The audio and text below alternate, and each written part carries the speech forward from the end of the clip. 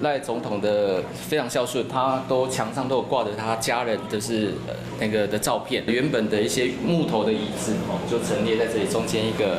啊，桌椅啊，这是一个客厅。一踏进门，矿工历史照映入眼帘。总统赖清德的万里老家正式转型为矿工生活纪念馆，老家内部首度对外曝光。赖清德的老家正式对外开放之前，我们首先带大家来开箱。可以看到呢，基本上这里的装潢没有太大的改变，而且呢，透过镜头带大家来看到，还可以看到这里还特别保留了一张书桌。基本上只要赖总统回到老家，都会在这边看书。二楼的书柜上摆满了各类型的书籍。还特别保留了这一张书桌，赖清德只要回到万里老家，都会在这里坐坐。而旁边的合适是过去一家人住的大通铺，一楼客厅跟饭厅，原本的家具都已经撤走，换上矿工口述历史。吃饭的地方哦，在这里吃饭哦，前方是厨房，现在家电跟家具都撤走。因为他母亲晚晚年的时候比较生活比较不方便，所以就安排在一楼。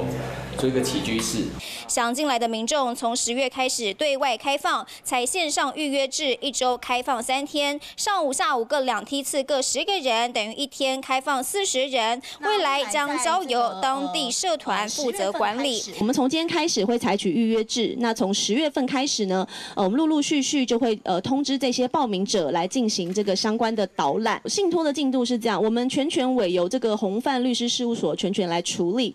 下课了，那我走遐耍，啊因母啊定，然后嘛去遐去去遐揣。啊，较早啊，这个是拢离子弹枪啊，遮细汉的时候，离子弹枪啊，遮啊耍，伫遐爬树啊咧耍。回想赖总统的童年时光，在二零二四选战，这里曾成为各政党的角力战场。如今，在赖总统上任满一百天，证明自己兑现承诺。华视新闻张顺简、红旗新北报道。Hello，我是易景，想要抢先掌握最及时的新闻资讯吗？赶快订阅、按赞、开启小铃铛，锁定华视新闻的 YouTube 频道。